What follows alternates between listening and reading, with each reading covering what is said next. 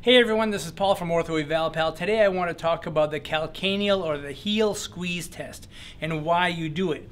Um, so if you are suspicious that somebody may have maybe a Sever's disease where the growth plate is not uh, closed up very well, maybe in a, a 13, 14 year old athlete who's been doing a lot of running, maybe on hard surfaces, and they're having a lot of heel pain, or you may be suspicious of a possible stress fracture of the heel, um, then the calcaneal squeeze test can be help, helpful to identify that.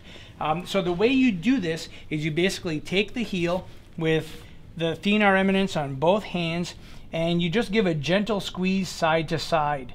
If they have pain with that, then that could be an indicator that they have a positive Severs or um, they may have a calcaneal stress fracture in the heel. Now notice that when we squeeze side to side, we're not affecting the fat pad, we're not affecting the heel spur or the plantar fascia. We're just putting some pressure on that heel bone side to side. There's really not a lot of other structures on the side there, so it's more likely to be a heel uh, issue. So that is the calcaneal squeeze test. If you have any questions, please leave that in the comments.